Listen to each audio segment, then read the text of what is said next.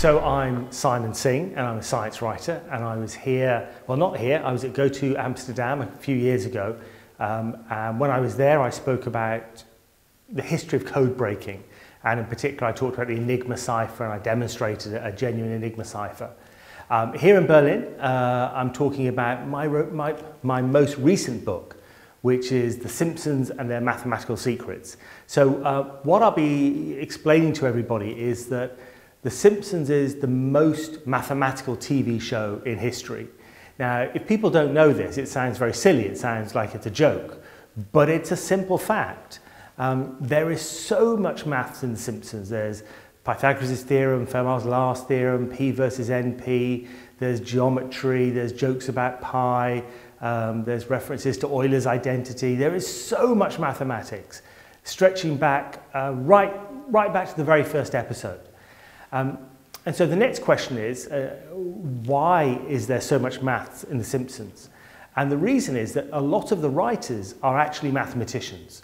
They have degrees in, in, in mathematics or they have master's degrees. Some of them even have PhDs.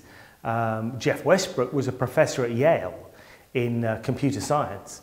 So uh, these people are serious about their maths. Uh, but they're even more serious about their comedy. So they're now comedy writers, they're not mathematicians, but they still love maths. And the way they express their love of maths is to include little bits, uh, little equations and things in, in the program, but, but only for, for a flash, uh, only for a split second. So if you don't know what to look for, you won't see it. And so um, I'll be outlining some of the examples. Um, I'll be talking a little bit about the writers and, and their motivations. Um, I'll be talking a little bit about Futurama because uh, a lot of the writers who work on The Simpsons also work on Futurama. And uh, Futurama science fiction, so there's a lot of science in there, but there's also a lot of mathematics as well. And, and I'll look at a couple of examples from there. So that's what I'll be talking about. I mean, there is so much maths in The Simpsons and in Futurama that I could talk about it all day, but I will try and squeeze in as much mathematics as I can.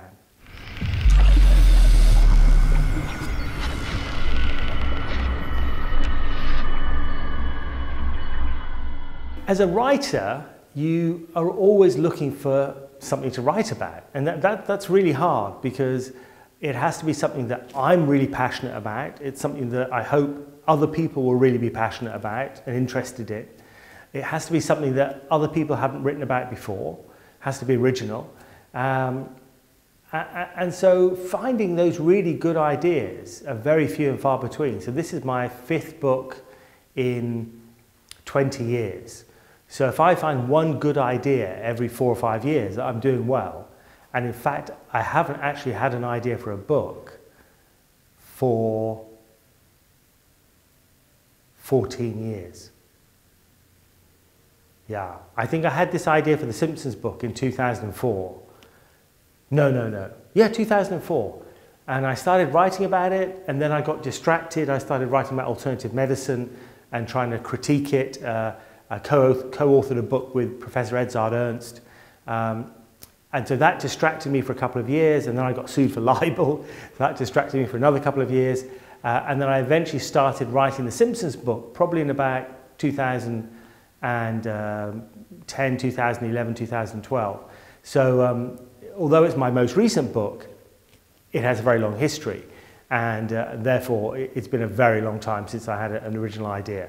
And um, part of the reason for that is that there is so much good stuff out there on the web um, so much free material, so much uh, humour and videos and, and long form writing and so on, that um, I'm not quite so sure that there's such a big space for books anymore. You know, I love books and I love reading books and I love the fact that other people love books, but um, my motivation for writing is probably not as strong as it was before because um, I just think there's new territory out there, which is the blogosphere and so on. And um, I kind of feel maybe I've done my bit.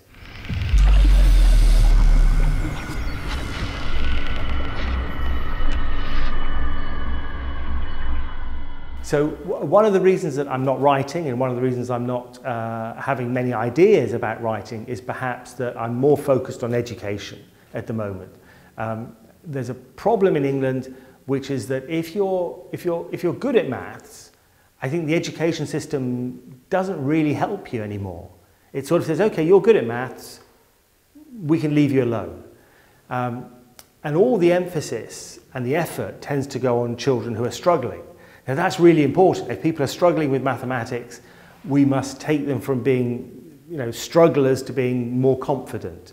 And if kids are okay and in the middle, we should encourage them to be good.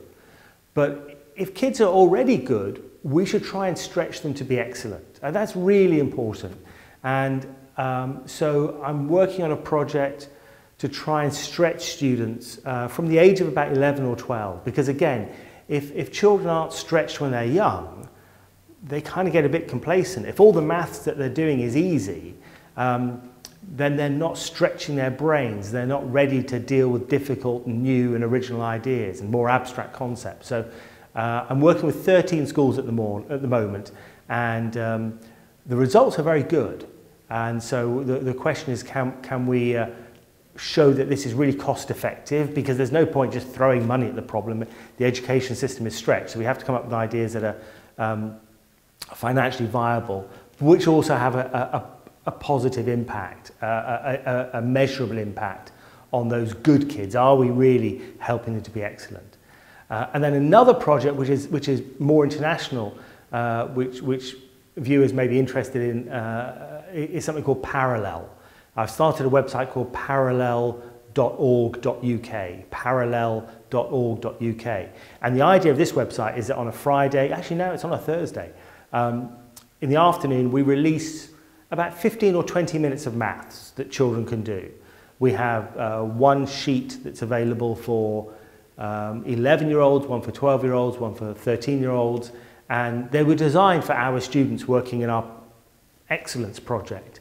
Um, but we have about 3,000 children now who are doing it every week. And it's uh, maths problems and riddles and videos, sometimes a bit of philosophy. It's kind of anything to stretch their brains and um, to see the world a bit more differently and to see mathematics and how it fits into the world. So um, that's kind of taking up most of my time at the moment.